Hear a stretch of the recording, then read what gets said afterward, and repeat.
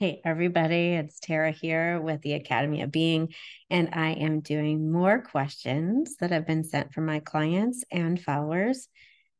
On today, what are we talking about? Emotions. Emotions. How do I deal with mood swings? Gosh, what I would say to you is with your mood swings, the biggest thing that you can do is to take a pause. Allow yourself to move out of the space of judgment and ask, what is pushing you around? So if you're on a swing, what is the thing that's pushing you? And how do you respond to it? So, whether you're in college and you have tons of finals or high school and tons of finals, or you're in a job and you have big projects or expectations that are happening, and many different areas where you're being asked to show up in life, you might need to ask yourself, how do you balance that out so that you're not all the way up here and then all the way back here, but you're in the center of yourself? How do you take care of yourself in that time? So, one of the little ways that I can say to do that is in between the project is to take mini breaks where you do something that is kind for yourself, whether it's silly things like dancing to a song. You put on one song and you dance for five minutes. You call a friend. And instead of talking about the things that you're struggling with, you talk about the things that you love or get to know what's happened that's brilliant in their day. I call this hardships and miracles.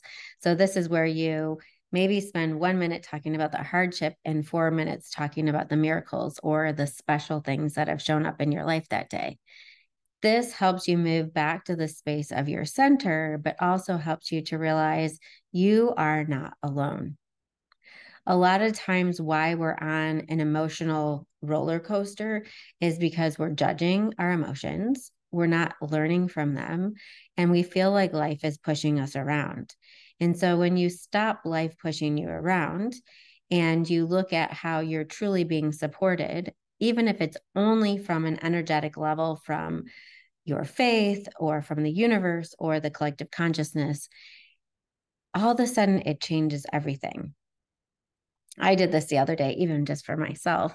Um, there were some things going on, like I had a lot of car issues, and then um, I don't know, I don't even know what the hardships were anymore. Uh, and so I just wrote those down. Like I did it all by myself, right? So I wrote them down for myself, and then I asked to be shown instead of trying to find the miracles in my life, I asked to be shown the miracles by the universe. And so I just sat there and I waited for them to kind of bubble up in my system. And in the end, I had this little tiny side of hardships and this whole page of miracles in my life. And believe me, it wasn't the space of feeling like I was trying to come up with miracles. I was experiencing them in my system in a way that maybe I had run past them before. So I was actually experiencing them. So I'm going to go back again. When you're having an emotional swing, find what's pushing you. Okay. And so that we're not um, doing this to create blame. So maybe somebody else is making you feel feel overwhelmed. How can you show up for yourself? Okay. So this isn't about them. This is about you. Like, how can you take some time out for yourself? So maybe you're a parent who's working a job and you just feel like there's no way that you can carve out time for yourself. Or maybe you're in a huge deadline and you feel like you can carve out no time. What I would say is you can always carve out some time. So even if you just carve out one minute and you really spend that one minute connecting deeply to yourself,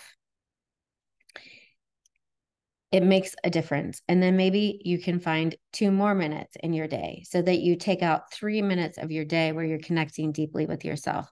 And in that place, you're doing something like the Muse method, which is a way to connect where you put your hands on your body and you close your eyes and you deeply connect into yourself and you breathe life into who you are. Or maybe you're going out for a run for one minute. Like you run to the, the stop, stop sign and you run back literally that can make you feel like you're there to support yourself you're there to carve out time and it also says to the universe this person is investing in themselves, I'm going to come in with even more relief. Okay. And then um, try that out and then let me know what works for you, and we'll go from there.